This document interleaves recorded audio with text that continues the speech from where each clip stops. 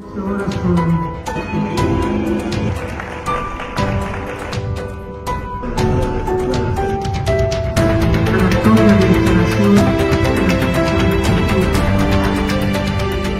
por instalada formalmente la Comisión de Cultura de la primera legislatura del Congreso de la Ciudad de México.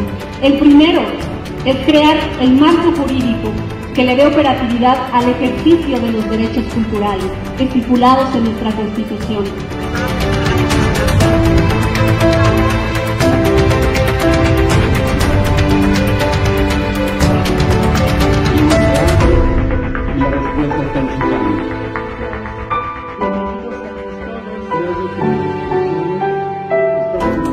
Viva la constitución de una ciudad que entendió que la cultura es parte sustantiva del pacto social.